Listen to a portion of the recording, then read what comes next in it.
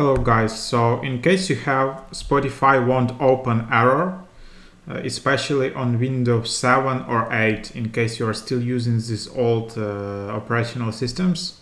So the way to do it is like either install Windows 10 or if you are still stick to Windows 7, you need to troubleshoot compatibility and then what you need to do is just uh, run this uh, program in compatibility mode for Windows 7.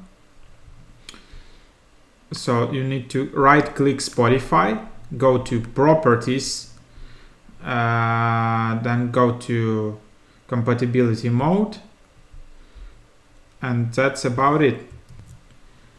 Also there is a suggestion if you can run without administration mode then do it because it will avoid annoying messages popping up, do you want to open Spotify, etc. So and people just reply, this worked for me. Uh, so probably that helps. Otherwise, there are like suggestions to do a clean reinstall, just quit Spotify. This is how you do it on Mac. You can just read through here. Uh, Yep, so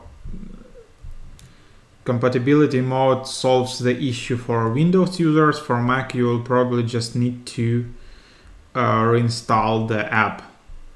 And also just uh, go to Spotify uh, issues Twitter page or just search for Spotify issues. Maybe there is some like issue, worldwide issue or bug going on. So that can be an issue as well.